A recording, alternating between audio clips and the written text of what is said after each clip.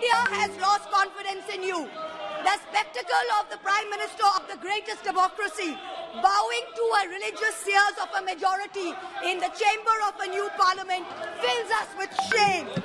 Police manhandling and filing FIRs against champion wrestlers What is this? Hey! against a BJP MP accused fills us with shame. 50 panchayats in three districts of BJP ruled Haryana issuing letters forbidding Muslim trainers entering the state fills us with shame. नफरतों की जंग ने अब देखो क्या क्या हो गया। सब्ज़ियाँ हिंदू हुई बकरा मुसलमान हो गया। No madam you are creating it in every state no Mohammed we are not one minute we are not going to be bullied One crony capitalist is not going to make a monkey out of India's regulators and equity markets while we watch.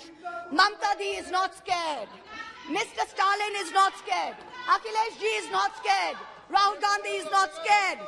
A 37% vote share party can only prevail if the rest of us 63% are shared Yes. and we are not. This time we will take you on and we will win. Thank you. I hear the illustrious BJP members of the House. Thank you, ma'am. Well, last, last para, ma'am. Sir, last, sir. Last, uh, last para, sir. I hear the BJP members praising their own, and I quote from the Gita: "You have the right to labor only, and not to the fruits of labor." Everyone asks, if not Modi ji, then who? This inaction on Manipur, Honorable Prime Minister, where you had absolute power to intervene but did not, is a cornerstone after which India will say anyone but Modi.